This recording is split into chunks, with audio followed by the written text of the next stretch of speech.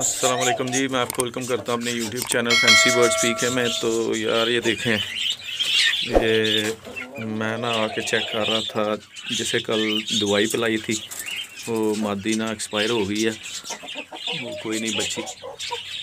ये मटकी मैंने नीचे उतार दी थी, इधर लटकी हुई थी पहले। तो ये देखें, ये पड़ी हुई है इसमें। तो इसे निकाल लेते हैं और बाहर फेंक देते हैं, अब क्या इसका कर सकते हैं? ये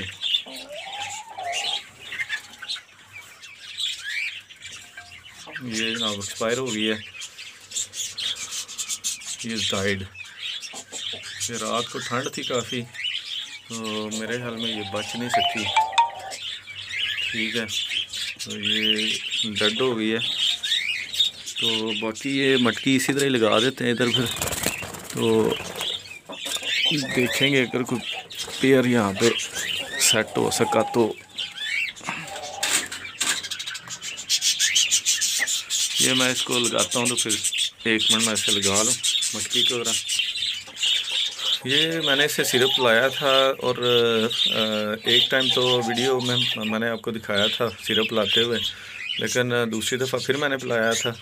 रात को मैंने पिलाया था ताकि ये ना हीट अप रहे और बच जाए। लेकिन ये बच नहीं सकी। तो बस यही था।